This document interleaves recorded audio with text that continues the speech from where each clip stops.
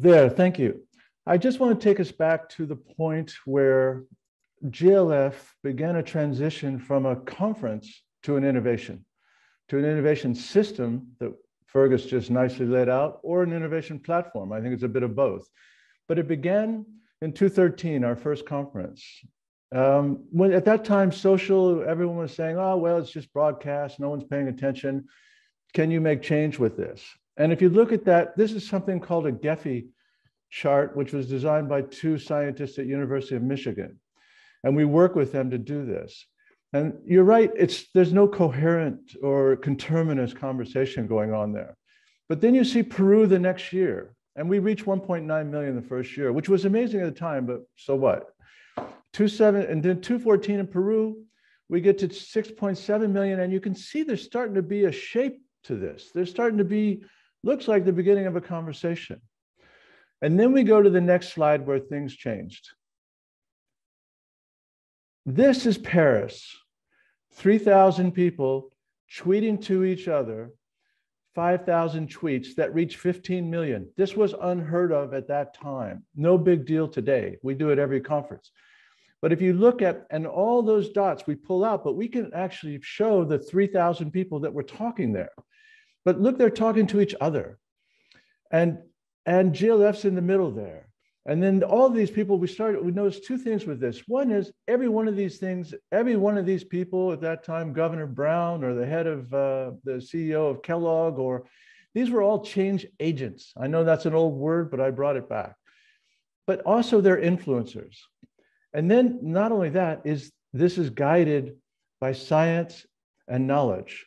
This conversation was framed by a knowledge committee. And we started thinking, okay, what do you do with this? This was on our desk for two years. And I called, I made a phone call to the author of the community of practice theory, Etienne, uh, I pronounce it wrong, Etienne Wagner. And I asked him, okay, what if, you know, we've seen lots of communities practice of 14,000, but what about if you, could you do it at, you know, 100 million? Is there anything stopping you? And he said, well, first of all, multi-sector community practice is called a landscape of practice. And two, no, if you could keep it under a frame, if you could make the conversation simple enough that people could riff on it, that they could, it might work. It's never been done or anything like it. So this is where we start to think of GLF as an innovation. Now, if you can imagine this, now what's happened in the past two years? We were working on digital communication, and digital for five years. So this is 215, and then the, the COVID happened. And then suddenly we've gone from reaching 70 million to 1.5 billion in two years. And the engagement rate, that means the people engaging on social, they, they participate up to two or 300,000 in a conference sometimes. I mean, the numbers are incredible. So this is the innovation of GLF. But it's, and more recently, we've taken another innovation, something called strategic niche management, which Cora is going to talk about. It's a new approach it suggests that sustainable innovation uh, journeys can be facilitated by creating technological niches.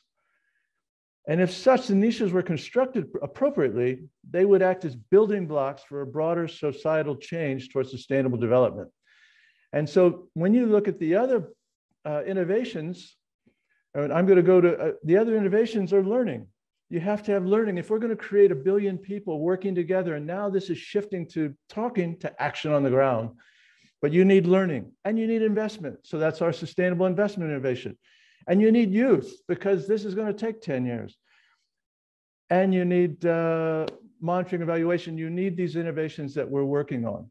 Um, so I'm going to hand it over now to my good friend Cora to tell us more about it. But this is why GLF is the innovation and the niches underneath it are building blocks each of those innovations. And stewardship economy may be the sixth. We talked about the other day. It's a question mark, but we're looking at it. All right. Thank you very much, Fergus and John. This is really interesting stuff, and I, I can easily build upon. Uh, I will talk a little bit more on this niche innovation, which you may know may may also be new to you. Uh, the next slide, please. I build here upon uh, Fergus talking about innovation as a verb and as a noun, and I will actually do both. Innovations as a noun uh, are, are, everywhere. Um, the majority of innovations, however, as you see in the graph, they emerge, then quickly grow, but then disappear before even reaching maturity. And only few innovations really remain and stay and reach the critical point of being adopted at scale. Next slide, please. The, the reason for this is actually that innovations are not just technical inventions, as Fergus also mentioned. Technical inventions only become innovations if they are adopted by people, by you, by me. And people only adopt inventions if they like them and if they respond to a real problem that they face. And, and they only adopt them massively if they are supported by institutional frameworks, that is, by markets or by policies that facilitate their adoption. Now, if all these three factors of technology, adoption, and institutional support, if these are aligned, then a window of opportunities is created for innovations to emerge, to scale, and to remain. Next slide, please. Next slide looks uh, shows you a, a, quite a famous graph. It looks more complicated than it is really. Just look at the yellow part, the upper part. That represents a landscape, a landscape with all the problems and, and all the pressures that, that, that push for change. Now at the bottom, you see all these little niche uh, um, uh, uh changes or, or, niche in ideas, I would say. They are represented by the arrows. There are many and they're great and they're led by people. Yet the vast majority of these remain in the green area. They, they remain at their niche forever. But a few of them, though, they manage to break through. And if they break through, they move up to the red part, the middle part of the graph, and they enter the social technical regime, or simply said, they enter society with it, its, its culture, its, its it's science, it's technology, it's policies, it's markets. And there they may transform this regime for the better. The next slide, please. The next slide follows one of such potential innovations. Once they break out of their niche, they go up, they grow, there they will be able to make a change. Now, our question at GLF is, how can we cultivate such innovation? Is that possible? And we believe that it is. Uh, and, and, and that works uh, first by identifying them, by finding them locally on the ground, then protecting them for a while, nurturing them, cultivate them, and make them grow into maturity. And once matured, they will scale themselves through the system and, and, and they will improve the system for the better. The next slide, please. Do we have examples of how innovation can be cultivated? Yes, we have. At CIFOR ICRAF, we do have the Landscape Academy that is part of the Global Landscapes Forum. And here, landscape innovations are identified, they're cultivated, and they are scaled through capacity development and education. Now it's my great pleasure to hand over to the coordinator, that is Kimberly Merton. So Kim, over to you, please. Thank you very much, Cora. So bearing this innovation framing in mind, the, the Landscape Academy is investing its time in, let's say, three main areas, amongst others. The first is expanding the Landscape Academy, what most of you all know, by doubling its alumni network from currently 20,000 to 40,000, but also taking advantage of the digital revolution and developing the first of its kind sort of digital campus.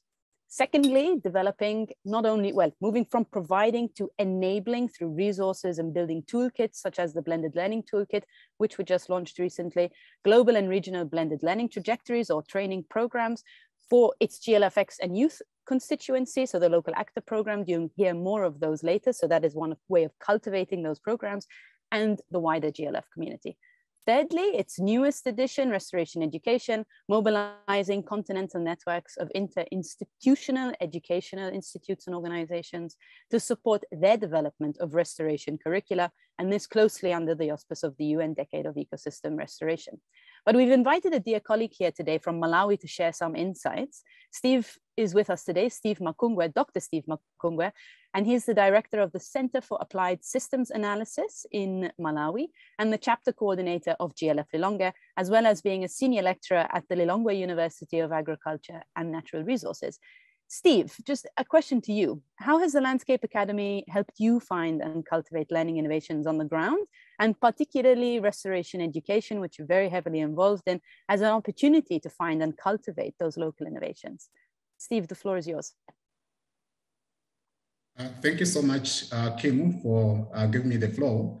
Uh, indeed, yes, uh, we know that landscape restoration or restoration is a, a new phenomenon and the countries have committed themselves, including Malawi, to restore 4.5 million hectares by 2030. But this is not a, a mean achievement to get to that end. We still have challenges in terms of capacity.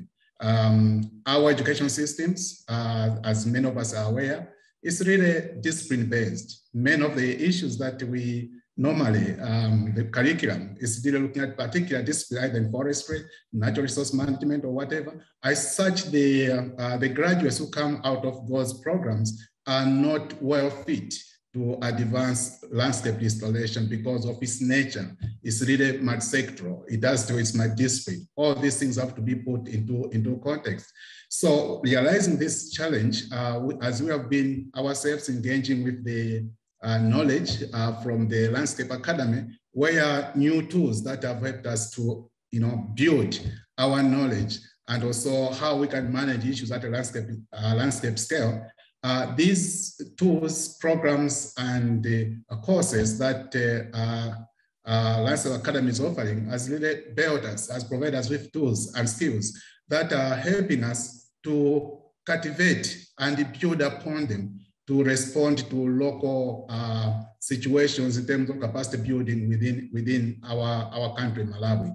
Uh, an example is that uh, one of the areas that we're looking at, realizing that uh, 2030 is not far away, uh, as we may want to work within the curriculum of our universities, you know, these are rigid institutions, to bring them new innovations, it becomes a bit more, it takes a bit of time. Now, what we have done is we have looked at it as a first uh, um, approach is to work with the already existing uh, practitioners, personnel who are implementing forest landscape restoration projects as of now and try to build their capacity. And within this, we noted that it's not just a normal traditional way of teaching. We need to be much more innovative in, in, in our approach. This is where we looked at uh, the entire space of workforce within the um, implementation for uh, projects where we see different you know, layers. We have the governance level, we have got the, uh, again, the facilitation level, and the actual farmers on the ground who are doing all these aspects. And all these, they needed to have their own skills, or they need to understand uh, theoretical knowledge, practical skills, and also the attitudes that can actually be able to play together to achieve the ultimate result that they are looking at. So within that context, this is where now we uh, bring forward or new innovation where we think our learning system, education system, it has to be competence-based learning system, which each of these work uh, workforce, each of these positions needs to acquire that skills that they need for them to perform properly, rather than having a generic type of uh, knowledge, which might not be able to yield the results on the ground. So we are we are doing this, we are piloting, we are already on the ground where we are really looking at what information, what knowledge do we need to give or maybe to train or maybe make it available for our decision makers, which is more of awareness type of knowledge. What are the best mix of policies? Because they are really more at the policy level. Then the second level, in terms of the approach of, in terms of capacity building, we are looking at those who do facilitation where now they have to understand the, uh, both the technical and the social skills, how they can mobilize communities and resolve conflicts at a landscape scale. And all those things, they need to have those skills at that level. And finally, is the actual rock actors on the ground. You know, these are the people that are transforming, that working with the soil, bring all these aspects together. So this is, we thought this is an innovative, one of an innovative way uh, under which we can actually enhance and accelerate landscape restoration uh, on the ground. And the other, another aspect that we're looking at for the future, how do you build new generation that can you know, advance this innovative uh, landscape restoration or installation approaches. This is where we're looking at the university level. We know many of our universities and colleges many of our curriculum are discipline-based, which we think will not be well suited for you know uh, landscape restoration. Restoration, as we are all aware at landscape level, it is a multifaceted, as we mentioned earlier, and all these have to be looked into context, into a package. So as such, we are trying to bring up through the um, Landscape Academy, we are trying to come up with new innovative ways how we can actually you know, build new generation of ex, uh, professionals who can advance this uh, landscape restoration. This is where we are looking at a transformative curriculum, which uh, our universities, our colleges must adapt if we are able to address and produce relevant personnel that can advance this landscape restoration. Within this context, this is where now we are working uh, as, as, as a pilot within Africa through the facilitation of landscape, I mean, uh, landscape academy, trying to bring up the tools where several, about five or six universities and colleges within Africa, we are coming together to pilot this new innovation. How do we bring in transformation in our university and college, uh, I mean, uh, curriculum, which can bring out the issues which are relevant to our local context. So we'll be exploring these innovations and, uh, you know, cultivate it and nurture it. And then the lessons that we are going to get out of the local experiences, they're going to form back the basic principles of transformative uh, education in Africa that will be very responsive to the current challenges we are facing in terms of degradation of our landscapes within, you know, in my own country in Malawi and also within the entire, the entire Africa. So I would say, yes, we are also in the educational system, we are trying to be more innovative. The innovations that, are, that we have today, we need to bring them into, into, uh, into um, uh, aspects that will be, will be more practical. So we are really moving more from the classwork. We are going to the ground to be uh, practice-based innovations where people should not only have the theoretical, they need also to have the feel and the practical experience on the ground. So these are the issues that we are trying to integrate to bring it together as a key aspect so that uh, our graduates, they are fully rounded and they are all made ready to manage and facilitate landscape restoration on the ground. So that's what I want to say regarding the innovations and how we are using the knowledge and expertise that we are acquiring through the um, uh, through the Landscape Academy and how we are trying to contextualize that information at the ground to ensure that uh, our education systems, both at the university colleges and also, you know, in terms of uh, this, uh, uh, the, the education that we offer to people who have already graduated from the universities or they are already practicing, how we can build on and improve their capacity or their skills to advance forest landscape restoration and be able to achieve our goals. Thank you so much. That's what I wanted to share with you. Thank you very much, Steve, for that. Thank you very much. Really appreciate your time. I now have the pleasure of handing over to Lars for the next presentation.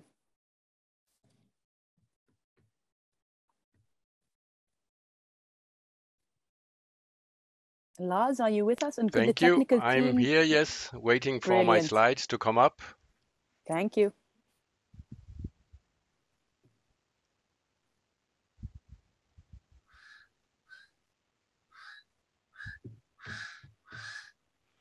Thank you very much. Uh, please uh, back to slide one. I will present the case of PATSPO in Ethiopia as an example of innovative institutional capacity development. The presentation was made with Søren Moestrup and Ramni Jamnadass, but owes of course credit to the PATSPO team in Ethiopia, Team Trees in Nairobi, our colleagues at the University of Copenhagen, the donor, NORAD NICFI, as well as, of course, the government of Ethiopia and our local partners. Next slide. What is the innovation then? Combining exploration, conservation, breeding, and delivery of quality planting material in one process through institutional development with mobilization of knowledge, know-how, partners, and tree species and genetic diversity. But is that new? Not really.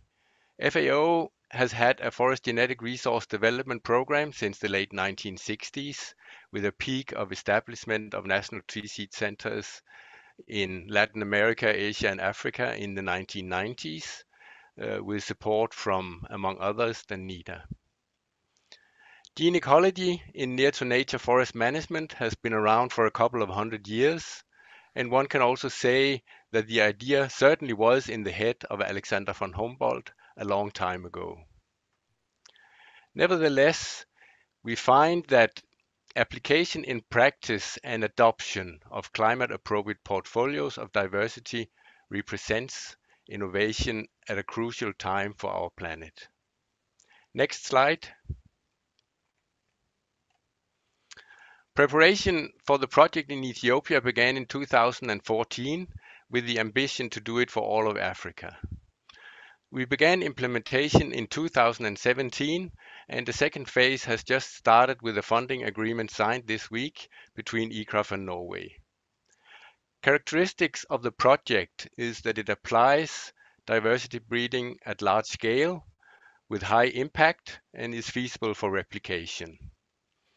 We are right now taking it to Rwanda, Uganda, and Burkina Faso as part of new funding agreements, including an IKI project to start next year. We are planning to take it further, as uh, Ramni spoke about when presenting the transformative partnership platform on transforming the quality of tree planting on Monday. The TPP is built into this upcoming IKI project. Next slide, please. What have we done in Ethiopia?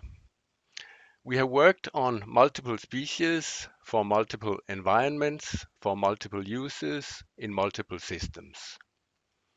Diversity is key.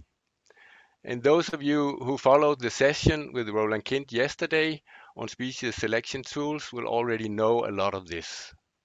On this slide, we have just listed some of the tangible outputs in Ethiopia that have been crucial for the acknowledgement of the program's success locally and globally. Next slide.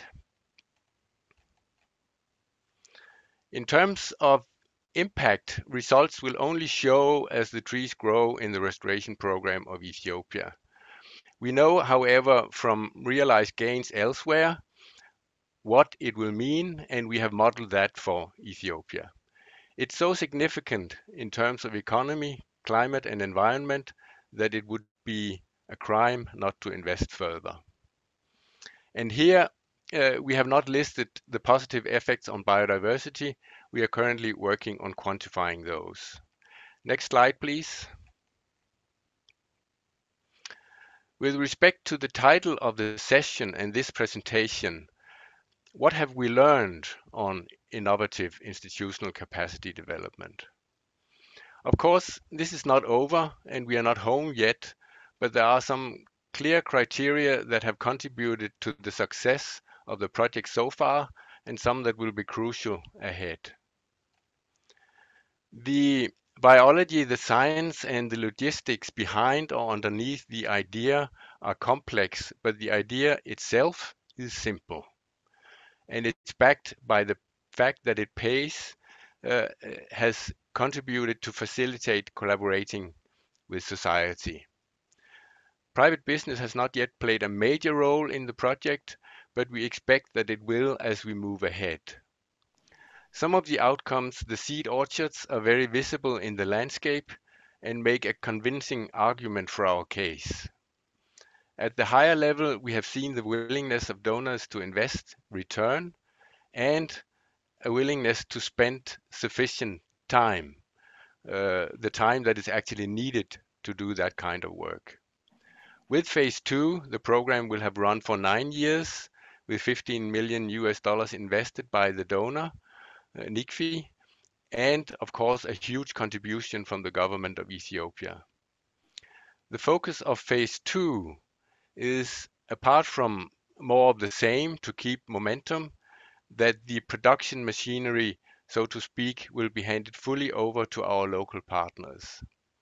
It is thus not a quick fix, and even after phase two, we expect that there will be elements and new areas to support in a possible phase three.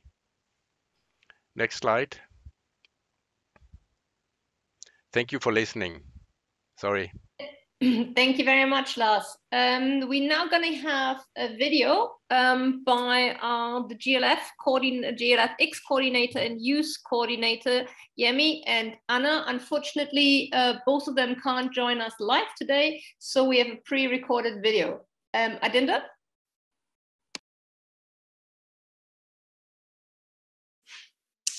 Hi, everyone. Um, I'm Yemi. I'm the GLFX coordinator. Hi, everyone. And this is Anna. I am the GLF Youth Coordinator.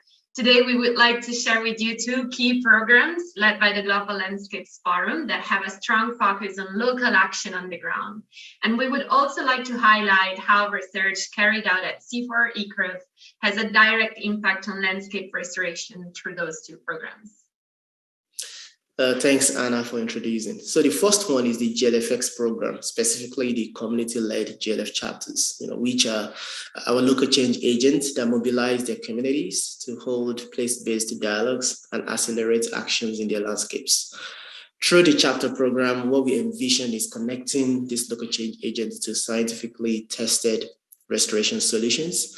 And in turn, we can receive feedback that are informed by place-based needs to uh, further refine what constitutes restoration solutions.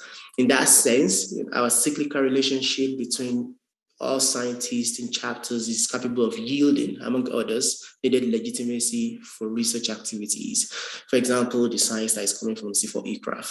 So in summary, the GLF chapter program can be seen as an accelerator program that can help fill an important gap in the intersection of knowledge and actions. Perfect, thanks, Yemi. And the second one is the Restoration Steward Program, which we started in 2020 when we selected six young people who were restoring their landscape to receive funding, training, and mentorship for a whole year. The mentorship element of this program is one of the most important ones, and it is also the one that allows us to link scientific research to action on the ground. In fact, Chief Steward is assigned to a mentor who usually is a scientist in a research organization. And at the beginning of each year, our stewards set up their restoration objectives with their mentor, who will then follow them throughout the whole journey as restoration stewards, providing the technical expertise needed to take action on their landscape. Among our different partners leading action on the ground, we're really lucky to have with us today Camille Rivera. She's the 2021 Wetland Restoration Steward. And I would now like to leave the floor to her and Irini Sakellari, the GLF Youth Assistant Coordinator, to have a quick conversation on how to activate research on the ground. Over to you, Camille and Irini.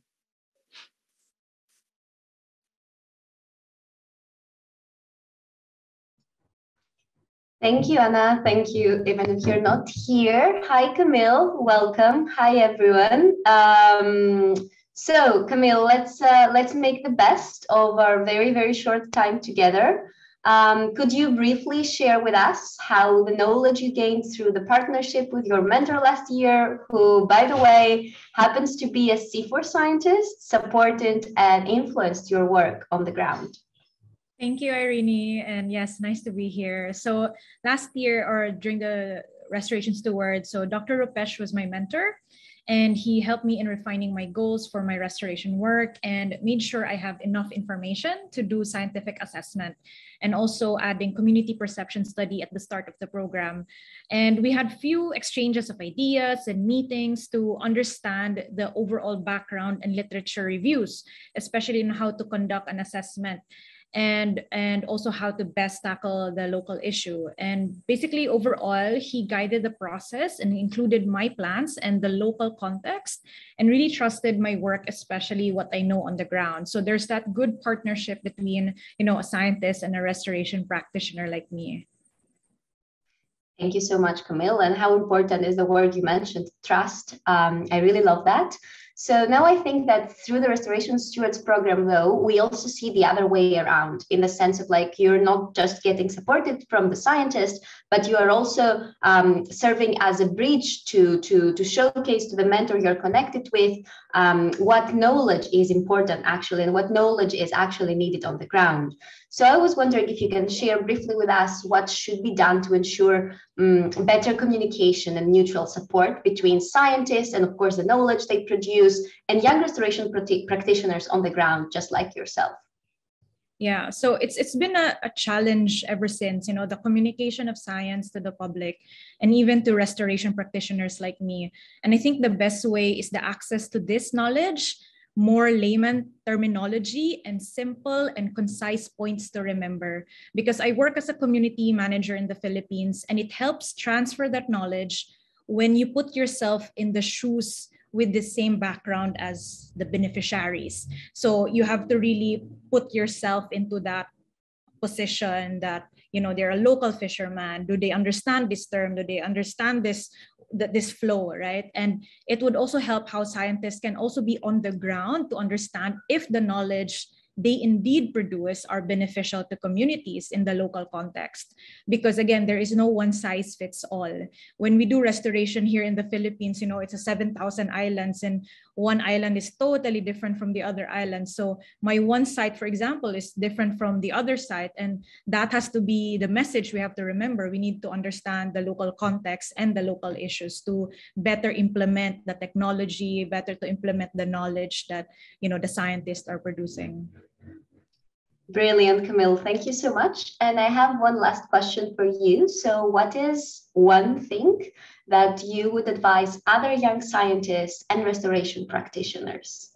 So, my advice is just very simple. So, like, if you know everyone we're all on this together and to understand each other and you know properly scale up like for example what i'm working on ecosystem restoration what I see with the young scientists, they really need to experience a bit of social science or even during their university days. There must be an incorporation of a social context because again, conservation in the real world is, is very different. It's very intrinsically connected to human well-being. So it's not separate. And, and the restoration practitioners at the same time must also include science-based method to ensure that there's best practices of restoration because it's already being researched and to reap more ecosystem benefits for the local area and to the local communities. Beautiful. Thank you so much, Camille. Trust, diversity, and the human element to conservation. Thank you so much uh, for this quick chat. Back to you, Anya.